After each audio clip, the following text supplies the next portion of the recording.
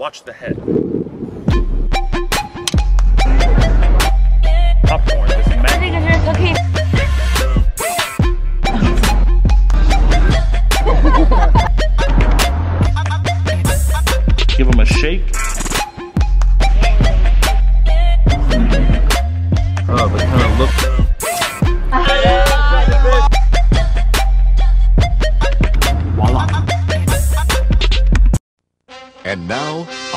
Feature presentation.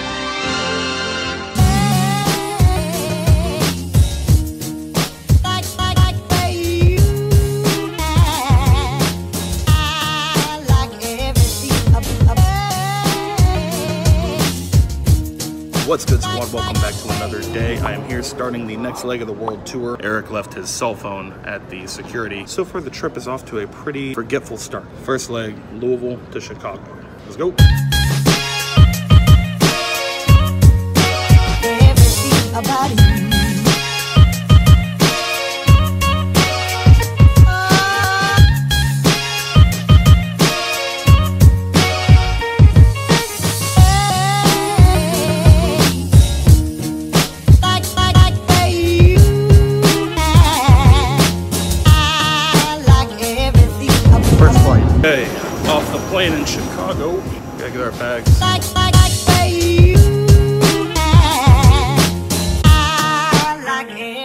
Time to uh, go grab some deep dish pizza here in Chicago. Let's go.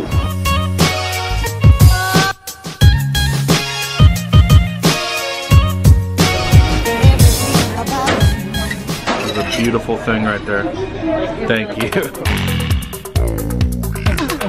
All right, we just got some amazing deep dish pizza here in Chicago, and we have a long layover here, so we thought we'd come out, get some of this legendary Chicago pizza, and now we're gonna go check out a legendary landmark here in Chicago called Cloud Gate. You've probably seen it. It's like a big silver bean looking thing. We're gonna go check that out. We have like six hours before our flight to Jordan, so making the most of it here in the Windy City.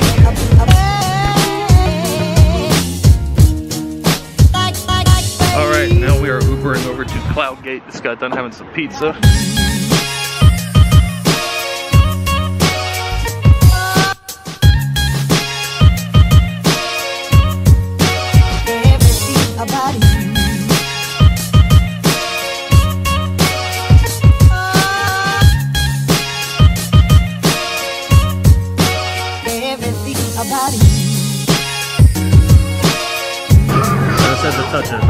Touched it. It's your turn. All right, so we just got up here to Cloud Gate, got some uh, shots for the Around the World video. Next up, we're gonna try and get some drone shots. A lot of police around, and I don't know if drones are, let's say, legal in this zone. I just saw Casey Neistat get a shot of this in his vlog, so I have to assume it's okay. He probably had a permit though. We don't have a.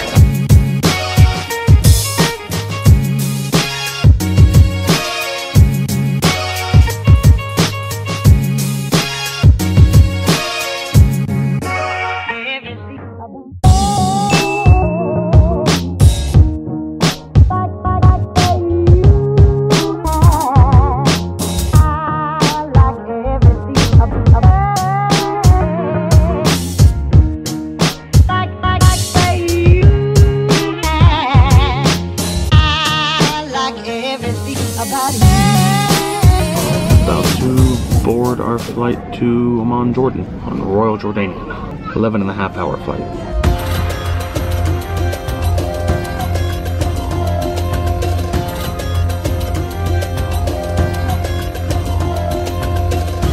Dear guests, welcome to Queen Alia International Airport in Amman, where the local time is 15 minutes past 4 p.m. Just got off an 11 hour flight to Jordan.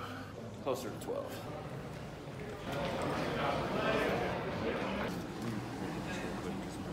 Just got off an 11 and a half hour flight to Jordan. We got on the plane in Chicago at 8 p.m. on Sunday. It's now 4 p.m. on Monday, but we only flew for like 12 hours. But it's now like, We were behind the sun. now it's like 20 hours. I don't know, it's crazy. But we're here in Jordan getting ready to connect to Cairo. I'm so tired. What's hilarious is I kind of blend in here, kind of dark complected. I have Lebanese ancestry. I kind of blend in with everyone else here. Eric, on the other hand, so we are going to find our gate back this way and we're walking the Ah. opposite direction. I was trying to find a sign that says like, welcome to Jordan. It doesn't exist. We have only seen like a small fraction of the airport. We should probably go to our gate and like make sure it's not boarding already, you know? Anyway, it's been a long flight, long travel day. There we go, 110, Cairo, that's us. Okay, so we're on flight number three, the first leg of this world tour. This is like the second leg of the world tour, first leg of travel of this world tour to get to Egypt. We're now on the third flight of this leg. How you holding up? Third flight, six, 15 hours? Yeah. Yeah. Yeah. Third country? So we're here in Jordan. Um, really kind of an interesting dynamic in that airport. I've never had my bags more thoroughly searched. They were totally like questioning some of the magic props that we were bringing, which rightfully so. They're kind of weird, but uh, challenges like this are always uh, a real thing in foreign countries. All the immigration form is just written in Arabic, so don't know what to do. All right, we're leaving Jordan. To Egypt. All the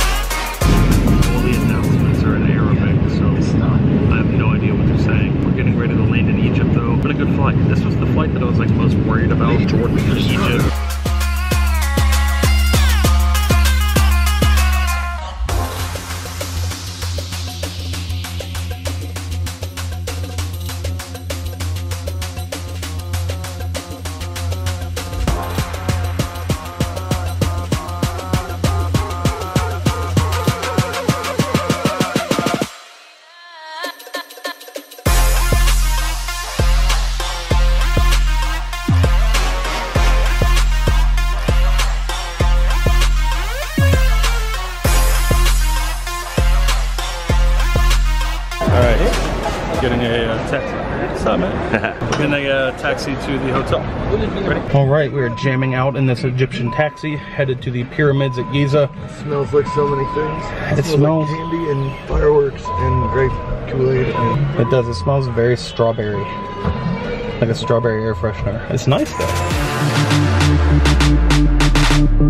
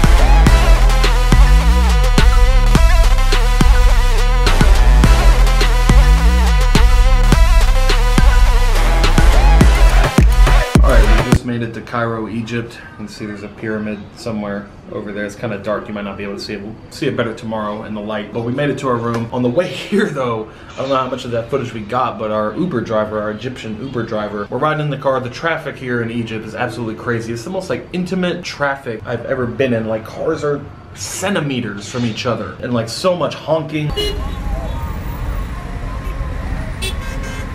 And like there's like two and three year olds and like infant babies like being held on motorcycles like entire families riding on a motorcycle just weaving through traffic. Most insane like scene that i've ever experienced as far as like driving conditions in a country. He did a great job. We didn't hit anyone. It was just crazy. But after that whole melee he says five minutes of crazy and we're like um okay It's okay. then proceeds to gun it to like 120 down the Egyptian interstate. The first car we passed, like I literally thought he wasn't paying attention. We were just about to rear end it, and at the last second, he just swerves into the other lane. Yeah. And he was like telling me to look at it, like, oh yeah, check it out. And I'm like, watch Like, don't look at me.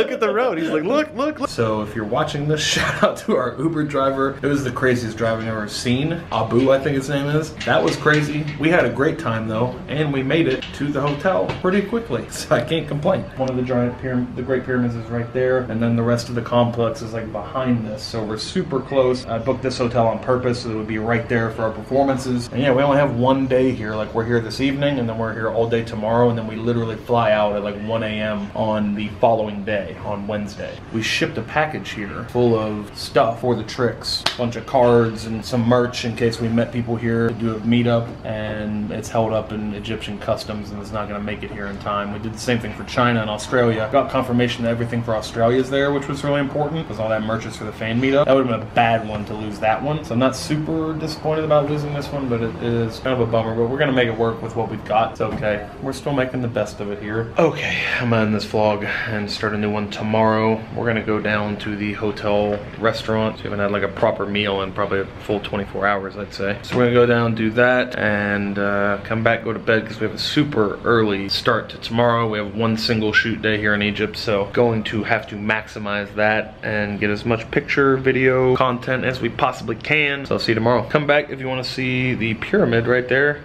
in the light and the Sphinx and a lot of other cool stuff here in Egypt. Then we're on our way to China, then Australia, Dubai in the middle somewhere, and back home. Thanks for coming along on this trip. Uh, it's been pretty crazy so far. Remember that anything is possible. You can even start your day in Chicago in the US looking at the big silver bean and end your day in Cairo, Egypt looking at the Great Pyramids. As long as you stay positive, work hard, and laugh at life. Love you guys.